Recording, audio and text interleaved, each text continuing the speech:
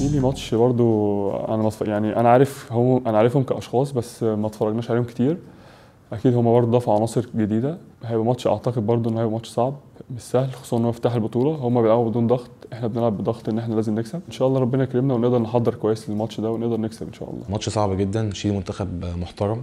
آه، شيلي طلع البرازيل من الأولمبياد يعني خرجوا من الأولمبياد. حتى البرازيل دخل ملحق بسبب إن شيلي كسبت البرازيل منتخب محترم جدا عنده كذا لعيبة بتلعب في في أسبانيا وفي في فرنسا ونتمنى إن شاء الله نكون مركزين ماتش افتتاح بالنسبة لنا ان الماتش ده يكون هو الدفعه لينا هو اللي يكون آه، بداية لينا وإن شاء الله كلنا مركزين وإن شاء الله يكون ربنا يعني موفقنا فيه إن شاء الله.